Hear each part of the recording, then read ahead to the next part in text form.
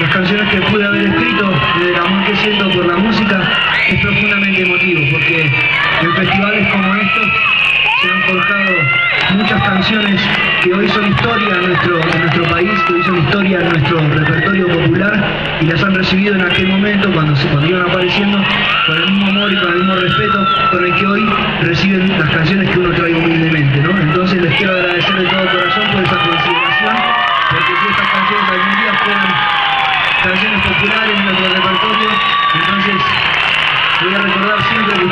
Las, recibieron de esta manera cuando recién nacían. Muchas gracias por todo, que lo pasen súper bien, que sean muy felices. Una canción de amor, con mucho amor, dedicada a todos ustedes, por todo el amor que nos han brindado esta noche, como siempre en cada concierto. Muchas gracias.